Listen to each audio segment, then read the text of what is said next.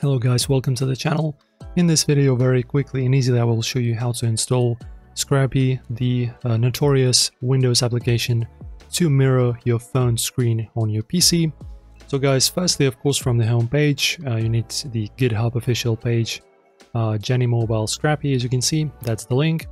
After that go to the releases and in here, very important guys, you need to grab this archive that says Scrcpy Windows x64 and of course corresponding version depending on when you will be watching this video.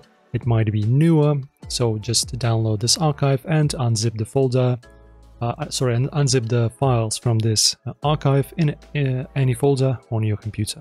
And then guys, you will end up with something like this. Now it's time to actually pair your uh, phone, so you just need to tap, sorry, grab your uh, wire, like this one.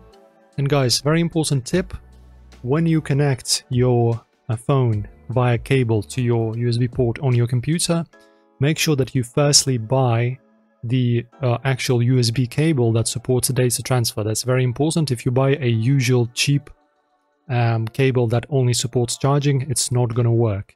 You need a data transfer cable. That's mandatory. After that, guys, on your phone, you will need to enable the debug uh, debugging options. So to do that, you just go to your About Phone section uh, on your phone. Uh, seven times you need to tap on the uh, version of your uh, basically firmware.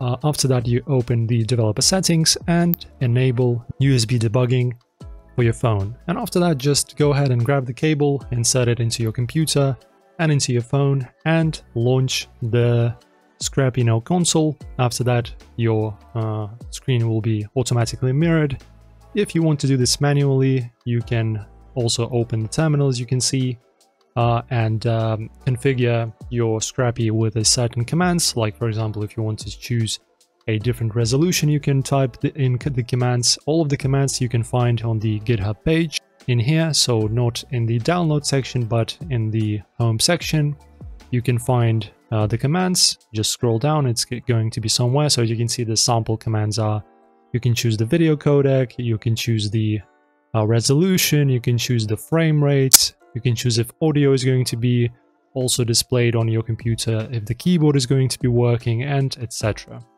And guys, after that it works, just make sure that the cable is data cable. And that's it. Guys, hopefully you liked this video and enjoyed it, and it helped you.